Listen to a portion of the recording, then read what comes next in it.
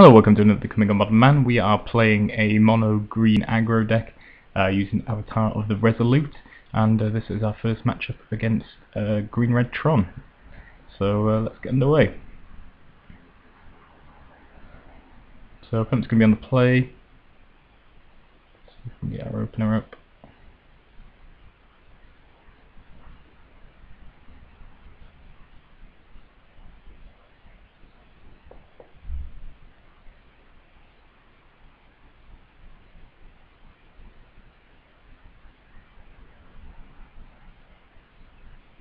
Okay, so here's our opener. We've got Dryad Militant, Experiment 1, Leatherback Baloth, uh, Kalonian Tusker, and Aspect of the Hydra, so looks like a nice aggressive start. Front just leads off with an Expedition.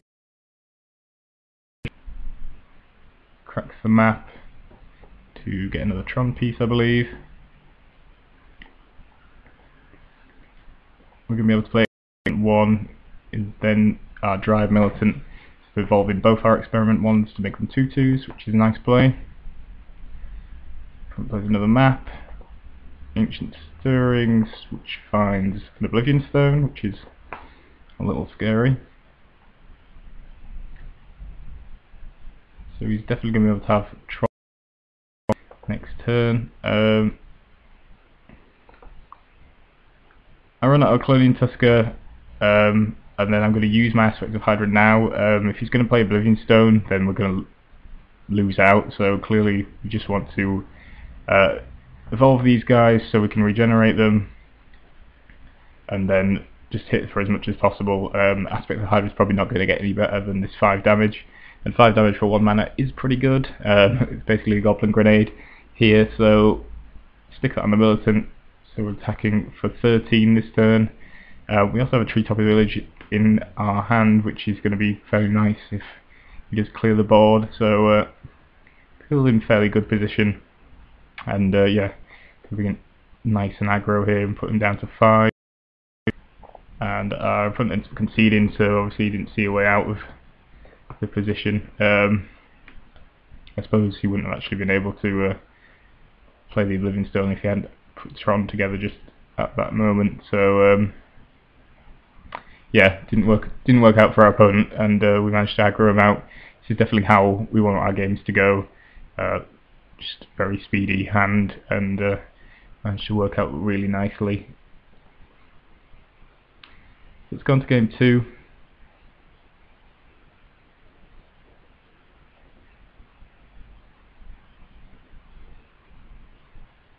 Okay, so we had some mulligan, quite a few hands there. I think we had a one lander and then a no lander, which doesn't look too great.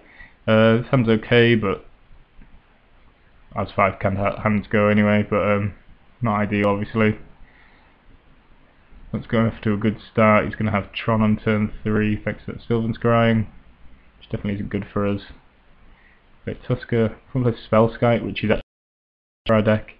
Um, steal Rancor, means aspect of the Hydra is no good and he just has 4 toughness, which is kind of a pain when most of our guys have 3 toughness.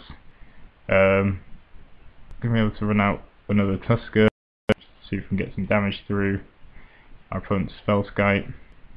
Meanwhile he's drawing cards off Relic. Uh, 8 mana is definitely scary. Uh, he's got Karn, which is pretty awful. Exile a card from our hand really want to use Rancor, but we can't really. And I kind of have to deal with this. So our opponent's really far ahead. Exiles a Rancor, plays an Oblivion Stone, and uh, that should pretty much wrap it up.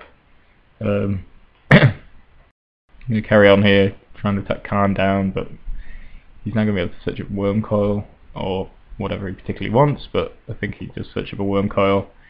Um, drops that onto the battlefield, and there is very little we can do about Wurmcoil. This is a really bad card against this for our uh, for our deck. Um, we just don't have a, many ways to deal with it, and the lifelink is pretty huge. Um, so yeah, definitely not a card we ever want to see our opponent playing, and definitely a weakness of this deck against Tron and really any deck that plays Wurmcoil Engine, I suppose. Um, just not a lot of ways to deal with it. I suppose we could play like Deglamer or something in the sideboard. that might be an idea, just to sort of shore that one up. Uh, this hand's decent, slightly more lands than I would like, but going to be on the play, and we have some aggressive creatures. I think about the Scavenging Ooze for Dismember, and possibly something else. Um, just obviously to have a creature, Dismember doesn't do a great deal against Red Green Tron in general. the stirrings, puts a mine into his hand. Just going to run out and then play a chromatic sphere. Five here. Play militant. It's all about playing sc scavenging ooze out, but I don't want to risk just being oblivion stoned to oblivion, as, as it were.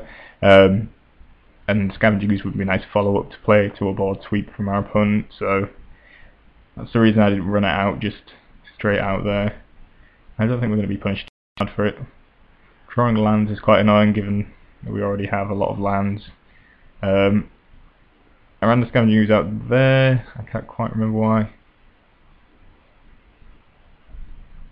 I don't know, I guess just to force him to have something. Um, I think I probably could have afforded to keep it in my hand, but...